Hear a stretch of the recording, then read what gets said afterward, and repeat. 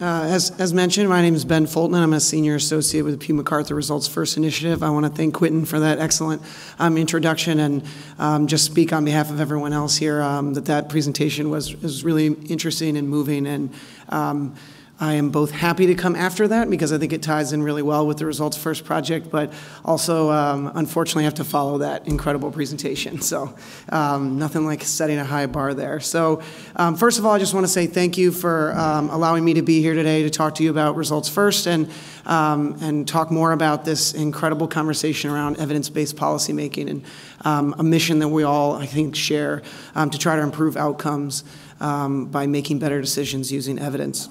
So as you can tell by the, uh, the long name um, up there on the Results First Initiative, which is what we call it for short, it is a joint, uh, jointly funded initiative by the Pew Charitable Trust and the John D. and Catherine T. MacArthur Foundation. And what we are is a national initiative that partners with select states and counties across the country to help them engage in evidence based policymaking. Um, and we do that by providing tools, training, and technical assistance um, to our partners to help them. Um, um, identify and invest in programs that are proven to work. And so um, we work in a number of different policy areas um, adult and juvenile justice, um, child welfare, substance abuse, um, mental health, um, early education, and uh, some general prevention programs as well. Um, but I'm going to focus um, today on criminal justice, which is um, really where most of our state and county partners begin, um, because as we know, in all those kind of policy areas that I just mentioned, um, a lot of the linkages in, in terms of their outcomes come back to the criminal justice system. Um, and so, one thing that kind of inspires the work of this, um, this project is that there are tons of policymakers out there, um, many of you who are in the room here today, um, and who are, are similar to Evelyn's um, real commitment to trying to bring more evidence and research into the decision making process, but there's just this breakdown in how they actually get at that information and harness it and use it in a way that's, um, that's powerful to make an impact in their communities. So I'm going to touch um, first on the kind of results first approach to evidence-based policymaking and our and our mission to really um, provide a roadmap for policymakers um, like those in Chicago that were interested in um, investing in programs that would work. Excuse me. So um, we really feel like if, if you're interested in investing um, strategically and targeting programs that work, it's really helpful to get an understanding of where you currently are.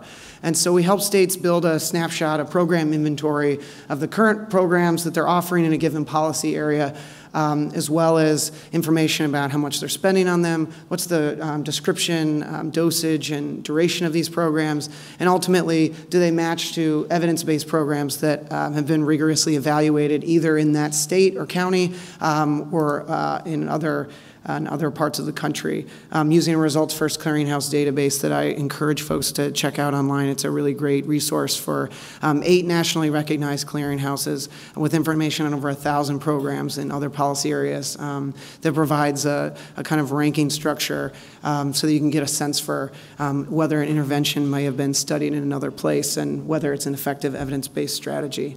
Um, and so that database, that program inventory, is a really powerful resource. Most, um, if not all, states and counties that we've partnered with um, have not had a um, robust program inventory designed in a way that um, policymakers could use it um, both in a kind of internal um, agency capacity to make resource allocation decisions, um, but also to um, support the work of elected officials in both the executive branch and the legislative branch.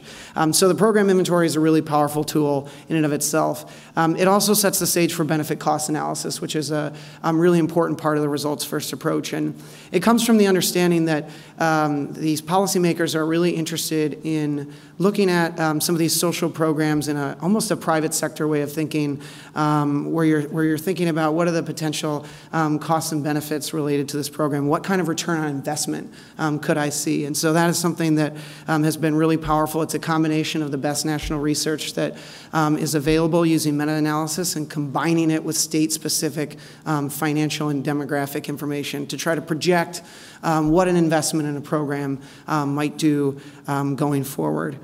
Um, And then finally, um, we, we help um, states and counties use this information and translate it into action um, by providing um, policy assistance um, and taking our knowledge that we've learned from other states and counties and, and helping them steal from each other and, and, and participate in this community of learning. So I do want to close here by talking about the different states and counties that we're working with. We're in 22 states now and eight counties.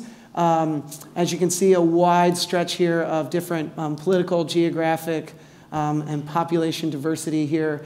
Um, States like Texas, Mississippi, Florida, um, and California, New York, Massachusetts. So um, we've seen these states take this information and use it to build these tools out um, and use the findings to redirect um, programming resources towards programs that are um, proven to work and likely to have a high return on investment. They've used this to also prioritize funding for future evaluation um, for those programs that maybe our state or our county uh, designed and maybe the research hasn't caught up on yet, um, and then do everything from um, passing legislation and using administrative code to try to um, create sustainability around evidence-based policymaking and, and make this a capacity building approach um, where these states and counties will be able to do this work in an ongoing way. Um, so with that, um, I will say that you uh, folks should check out the website. Um, we have a great video on there that um, it's only a couple minutes long, but uh, it, it kind of runs through um, the project's goals and, and how it works, um, as well as you can find a lot of great case studies from the states that we're working in and, and check out the various different projects. So with that, I'll turn things over uh, to Maya.